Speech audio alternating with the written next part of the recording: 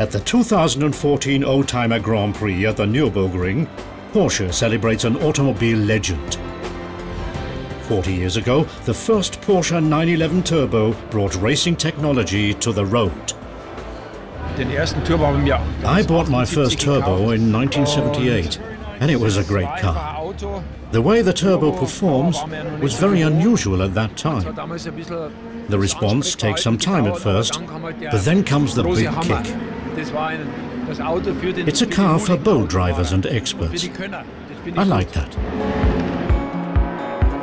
At the more than 150,000 square foot Porsche area, not only autograph hunters get into gear. The majority of people here have Porsches, and they're here because of the Porsche history and what they've supplied to the fans and the uh, young buyers over the years. I mean, every man aspires to having a Porsche sports car.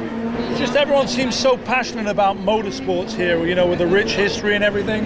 So it's just actually cool to finally be here. So I'm super excited. It's uh, sort of like Christmas came early for me. In addition to showing exhibits from racing history, the experts of Porsche Classic provide advice on repairs and spare parts. We've lots of Porsche Classic original parts. This is our topic, to tell our customers that they can buy any of these parts in any Porsche center worldwide. Many people are amazed about what we can still offer.